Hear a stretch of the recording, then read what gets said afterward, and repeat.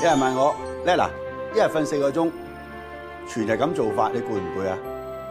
一早起身可以跑馬、踢波、做生意、拍戲、拍電視，我覺得唔攰喎，因為我覺得我全日都冇嘥過。你會唔明？如果唔明，你聽下以後嘅故仔啊！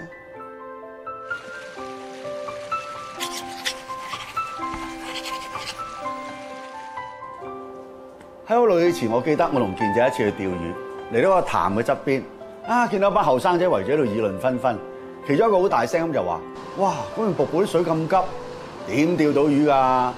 嗰、個人都傻佬嚟嘅。我就問下健仔啦，你啲健仔專家嚟㗎嘛？我係咪水流好急就釣唔到魚咧？健仔笑笑口話：我哋過去睇下咪知啦。咁我咪同健仔行過嗰邊咯，行到去見到原個男人側邊個魚籮咧，冚唪裝滿晒啲好肥壯嘅大魚。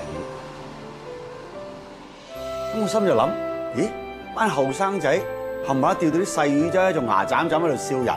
咁唔通呢個男人有啲咩釣魚嘅秘方？我都未講，你知啦，健仔係釣魚專家，佢即刻用專家口吻话俾我聽，梗係啦，喺個潭水度風平浪靜，嗰啲氧氣啊足以夠嗰啲小魚喺度生存嘅。但係啲大魚咧要需要多啲氧氣，咁梗係要搏命游去瀑布水流好急嗰邊啦。咁所以話風平浪靜嘅潭咧，就只能夠釣到小魚。你想釣到大魚，梗要風高浪急嘅地方啦。咁之後我同健仔去邊度釣魚，唔使講你都知。嗱，呢個古仔就好簡單，大家一聽就明㗎啦。即係我哋成日都話水清就無魚。究竟你自己想做一條小魚啊，因為想條大魚咧？無論如何，如果唔經過驚濤駭浪，唔經過不斷嘅磨練咧，你根本系唔會成長嘅。就算你成長咧，都只不過係一條普通嘅細魚嘅啫。咁如果你真係想做大魚，或者你想有啲成就嘅，你就要冲出大海，向急流嗰度做。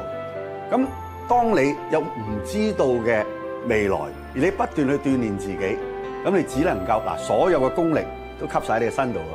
當你變為一條大魚嗰陣時，你中意食人又得，俾人釣又得，吓！所以話嗰個選擇喺你度，你亦都要揀做一條小魚，永遠喺一個無風無浪嘅小潭裏邊，咁你咪安安逸逸咁過活咯。